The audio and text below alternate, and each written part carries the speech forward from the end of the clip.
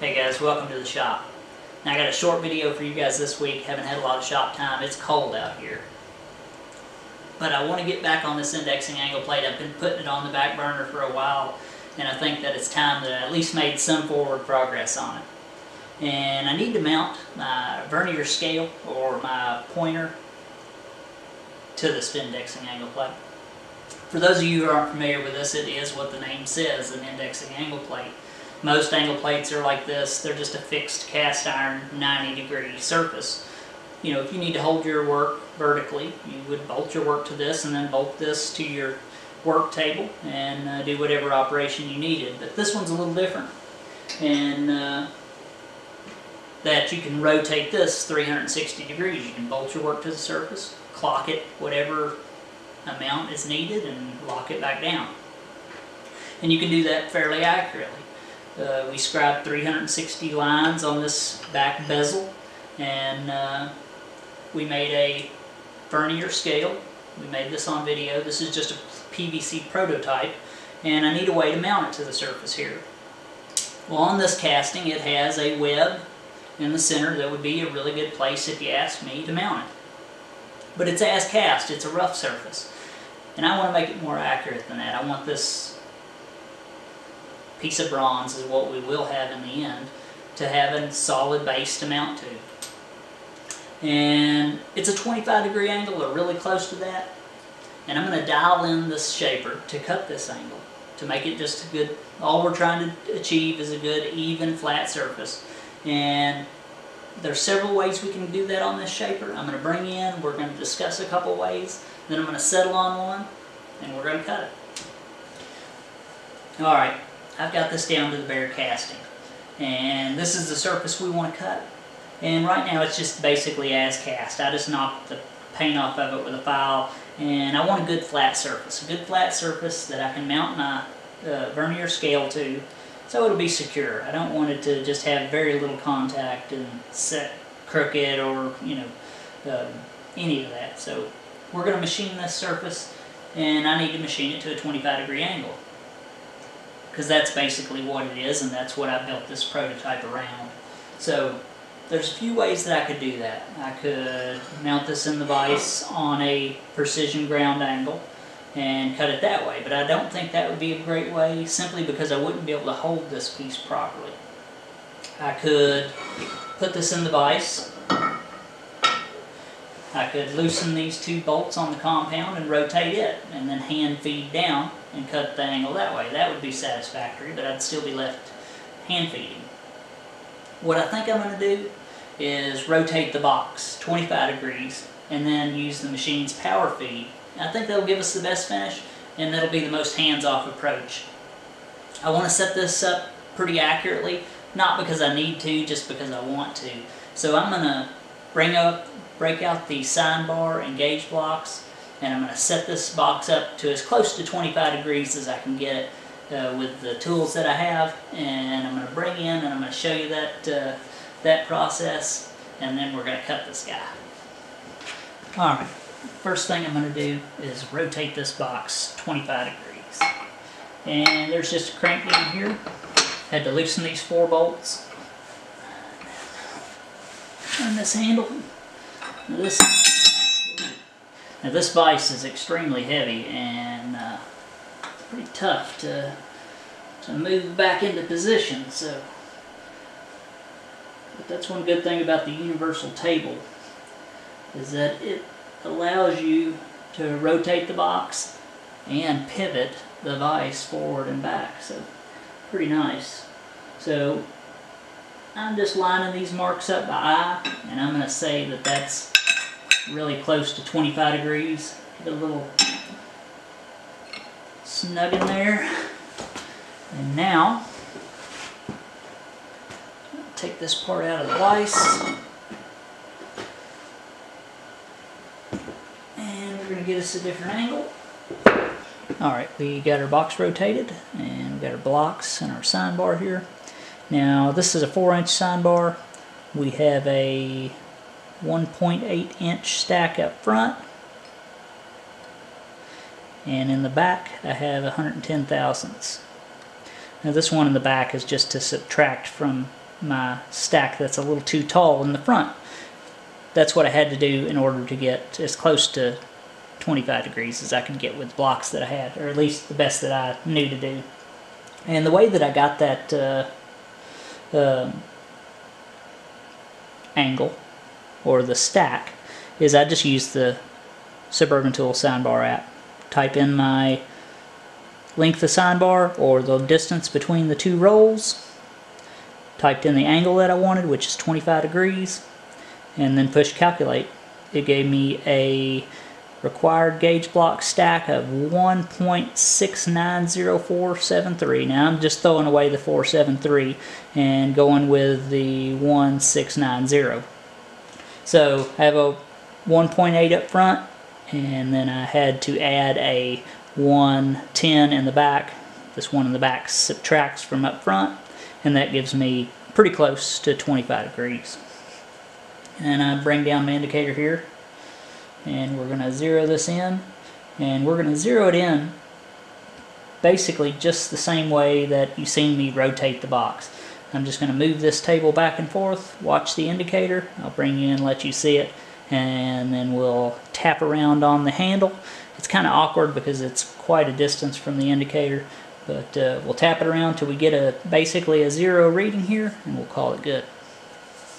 Alright, let's see what we got here. Just doing it by eye. First, let's bring this down and zero it.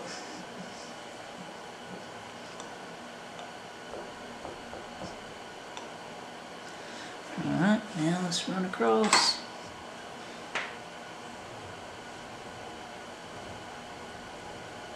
That's pretty good. So over three and a half inches, we're about seven thousandths off. That's uh, that's pretty good, really. Maybe eight thousandths. So all I'm gonna do is tap around on that handle that you've seen me rotating the box with until I get basically zero and we'll call it good. Alright, so I ran back and forth with my indicator and I'm within a half a thousandth over, you know, three and a half inches, which is good enough for what we're doing. And I need to change my tool because um, I don't want to be, this piece here is going to because we have the vise angled like we do, we're really close to the ways of the machine and whatnot. And, and I want to bring this down, this tool down a bit, without extending the compound way down. So what I'm going to use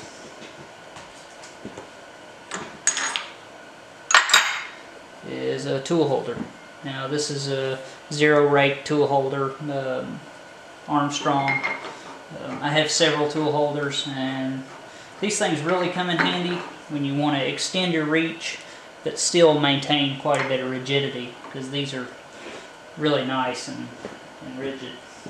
And it'll allow me to, to work down a little farther and not uh, risk you know damaging the machine because it's easy to run one of these machines into itself if you're not careful. So we're just going to bring this over and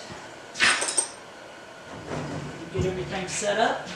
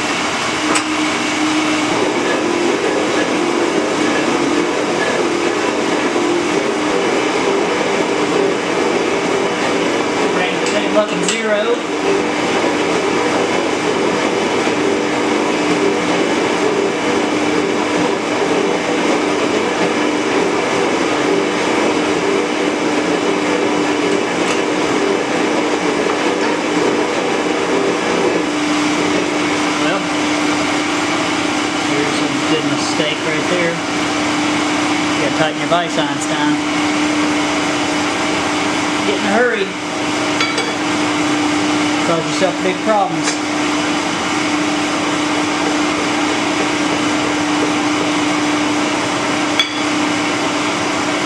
Back off a bit.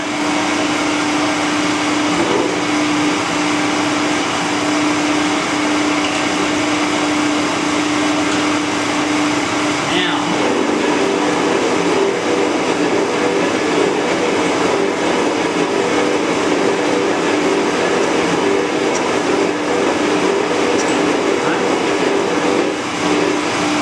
Well, that's zero.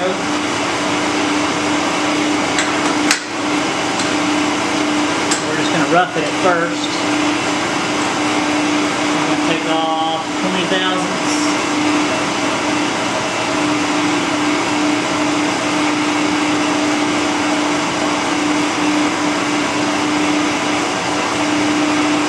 Well, you just messed up. Re-zero, it's easy to do.